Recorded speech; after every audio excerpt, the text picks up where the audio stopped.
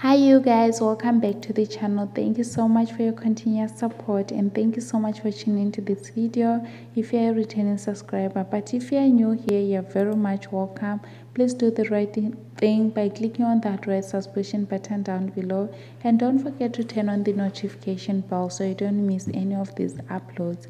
So guys uh in this video we'll be looking at the teasers of Gomora well season 3 premieres this week which is on Monday Gladys and Ntokozo learn that Melusi was arrested.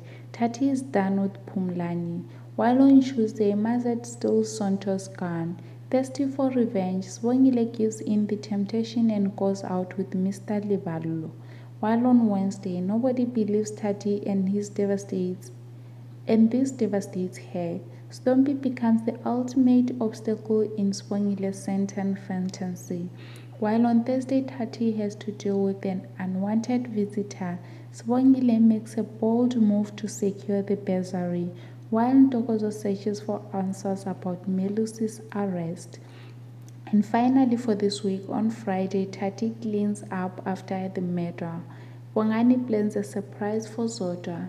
Gugu and Tiamo learn something shocking about Phumlani. That's it guys for this week on the teasers of Gomora. Thank you so much for tuning into the video. Please do give it a big thumbs up. It helps with the algorithm and also do consider subscribing if you haven't subscribed. I really appreciate your support you guys. That's it from me now guys. Bye. See you on my next upload.